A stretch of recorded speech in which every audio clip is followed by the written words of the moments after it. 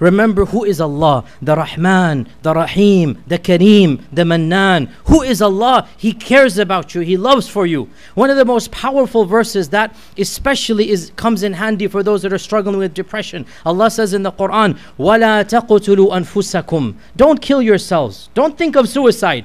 What is the next phrase? Powerful.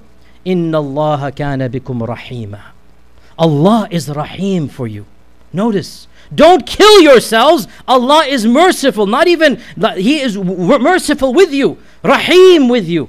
So notice, life is difficult. You're thinking of, khalas, let me end it. And Allah is saying, don't do it. I'm merciful.